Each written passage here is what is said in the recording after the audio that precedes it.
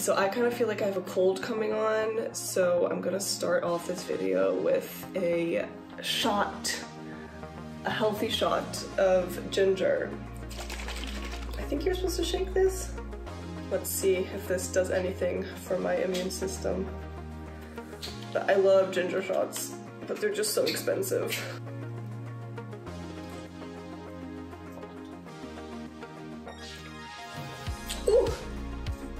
Wow, that wakes you up. I'm ready to eat some junk food now. Welcome back to my channel, I'm Anna. I'm a vegan living in London, originally from the US and Japan.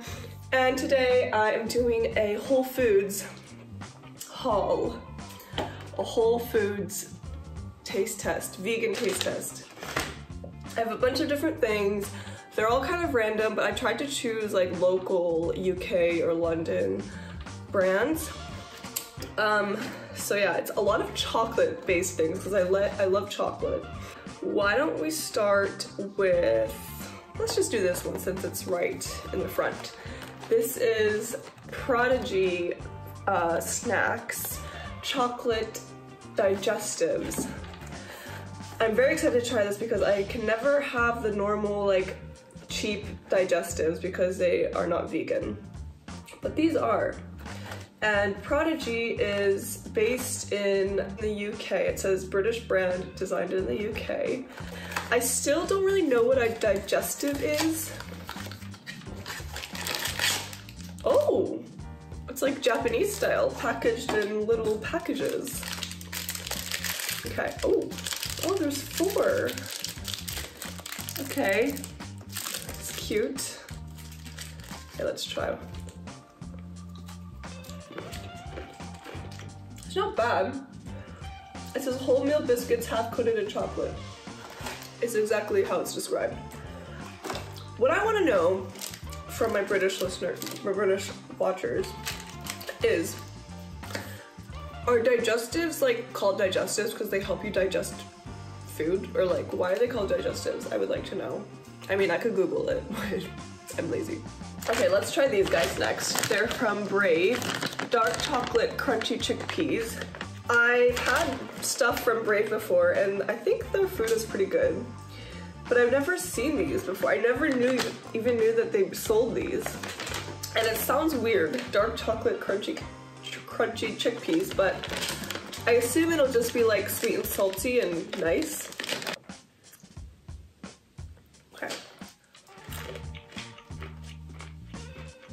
Mmm. Ooh. These are good. These are addicting. Mmm. It tastes like chocolate cereal. It tastes like, I don't know, childhood. Wow, that's pretty good. Sorry, I forgot to rate these. This one, I'll give like a six and a half. It's nothing like crazy. I mean, it just tastes like a chocolate covered biscuit, which fine. But it's not like I would run to the store to get this, I feel.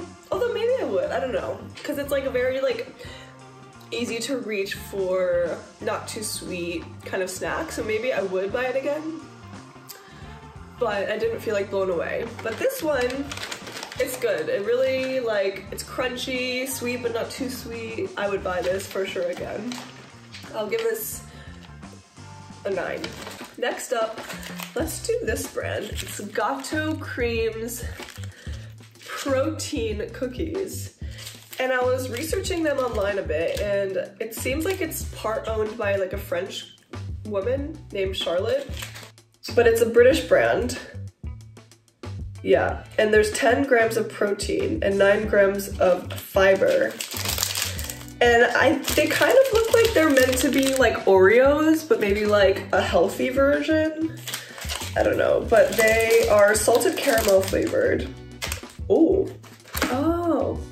So they're not quite like Oreos. Like the the outer parts are kind of like oat cookies. And then you have a filling. Okay, let's try. Mmm, it's really not bad. It definitely tastes healthy, but not in like a horrible way. like you can tell there's not like that much sugar. and it's healthy. It's like a healthy cookie, but it's good. But how much?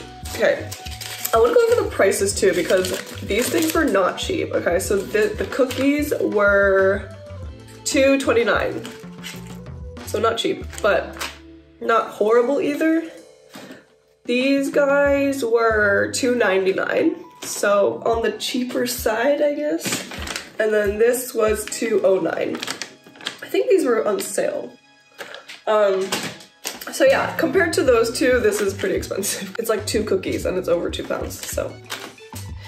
All right, next let's do another Prodigy product. This is the Prodigy Cahoots chocolate bar. Um, I don't think there's like, it's not promoted as like a healthy thing. I think this is literally just like a chocolate bar. Chocolate covered coconut bar, yeah. And this one was 199 Mmm. I feel like I've had something similar to this maybe last year. I don't know, I feel like there's a really similar product to this that I also tried in a taste test. It's like chocolate covered coconut bar. It's good. If you like coconut, you will like this. If you don't like coconut, don't buy this. I will give it an eight. Cause it's not quite like your average chocolate bar. Like it's not like, oh, I'm eating a Twix or I'm eating a Milky Way. It tastes like a vegan chocolate bar. so it doesn't quite live up to your expectations or my expectations, but it still tastes really good. All right, next we'll go for a more healthy bar. The Ella's Deliciously Ella Roasted Almond Trail Mix Bar. I did not know that Ella made trail mix bars. I had no idea. And this tastes, I mean, this looks exactly like the Kind bars, which are not vegan usually because they have honey, I think. But these have no honey. They have date syrup and different types of syrup. So, and this one was on sale. It was, let's see, one pound 19. So cheap compared to others. By the way, I'm loving Ella's new like range that I've been seeing in Waitrose. I forget what it's called, like Ella's, like Plant Kitchen, not Plant Kitchen, Plant, Ella Plant? I forget what it's called, but it's really good. I love these kinds of bars. I don't know. I just love the texture. As I expected, crunchy, chewy, sticky. It's good. I'll give it a seven and a half. Let's do this Sweet FA gluten-free oatmeal and raisin cookies. These were three pounds 49. Oh god, that's not cheap. But they're they're from the Isle of Mull, I think. I think it's like a collaboration with this brand Island Bakery. Um, and they produce their stuff on the Isle of Mull. What is it called? Island of Mull? Yeah, Isle of Mull, and it's in Scotland. So, I guess it's like a Scottish company. They look very thick and sturdy. I'm scared to like break it because it's gonna like fly everywhere. Okay.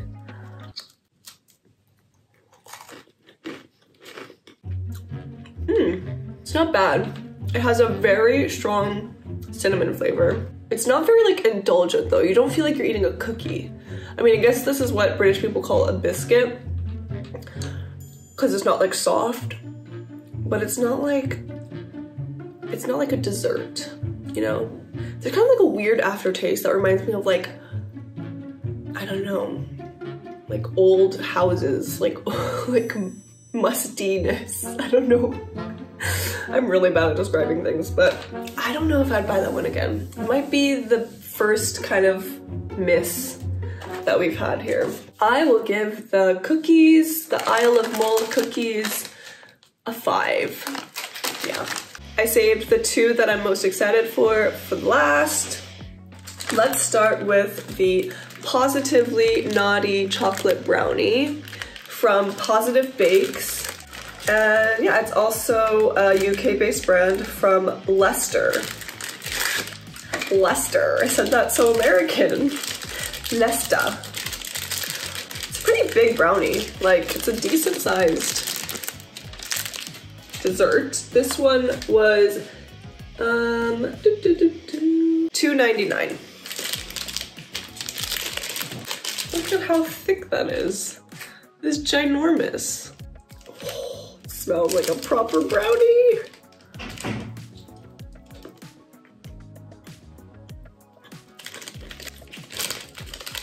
That's good. Mm.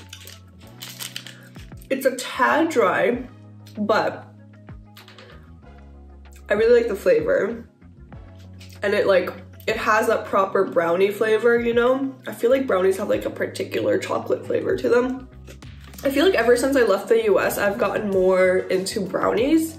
Maybe because like they're less common overseas. So when I do see them, I'm like, oh my God, a brownie. Because brownies are more of like an American treat. I might be wrong, but I do feel like they're more common in the US. You know, in your childhood, you're always making like brownies from like those pre-made, um, what do you call it? Pre-made mixes. And it's like really common to just like, if you're at, if you're at a sleepover, you and your friends will like make brownies and eat them throughout the night and then the morning and then yeah it's like a childhood memory thing for me um so yeah, when I see brownies, I'm like, oh my god, I need to try it. Last but not least, we have this. It is a Biscoff cinnamon bun. Can you believe it? It kind of got destroyed in my backpack, but it's a vegan cinnamon cinnamon bun, Lotus Biscoff flavor by House of Sin. Don't know this brand either, but apparently it's brand, obviously.